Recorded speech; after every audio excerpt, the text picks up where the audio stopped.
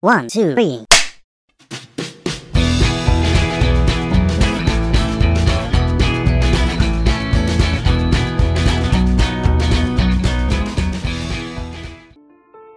Pada malam tanggal 29 Oktober tahun 2022, sedikitnya 154 orang tewas dan ratusan orang lainnya terluka setelah terjebak dalam kerumunan besar selama perayaan Halloween di lingkungan Itaewon, Seoul.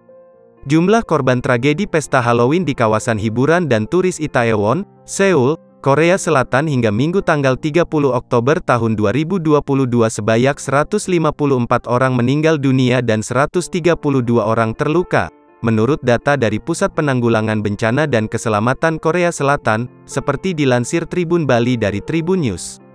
Jumlah korban Itaewon ini bertambah satu orang dari update sebelumnya. Dari total korban tewas, 98 di antaranya perempuan dan 56 laki-laki.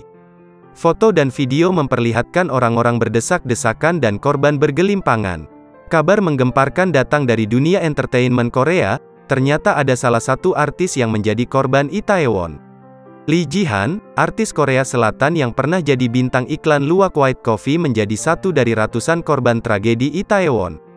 Lee Ji-han setidaknya punya hubungan emosional dengan Indonesia. Sebab Luwak White Coffee adalah produk kopi instan yang iklannya kerap warawiri di TV-TV masyarakat Indonesia.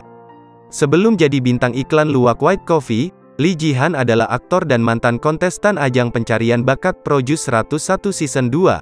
Dilansir dari Sumpi, agensi dari Lee Ji-han, 935 Entertainment telah mengkonfirmasi kabar ini pada tanggal 30 Oktober tahun 2022. Perwakilan agensi melanjutkan bahwa pihaknya pun sangat terkejut dengan berita tersebut. Agensi pun mengungkap bahwa pihak keluarga Lee Ji-han menderita kesedihan yang luar biasa dengan adanya kabar ini. Lee Ji-han, yang pertama kali menjadi sorotan sebagai kontestan di Mnet Produce 101 Season 2 pada tahun 2017. Ia pun menempati peringkat ke-98 dalam ajang tersebut. Jihan memulai debutnya sebagai aktor pada musim semi 2019 di web drama The Butterfly Dream. Dia berusia 24 tahun, menurut perhitungan internasional, pada saat kematiannya. Situs resmi Projus 101 juga telah mencantumkan kabar kematian Lee Jihan di bagian profilnya.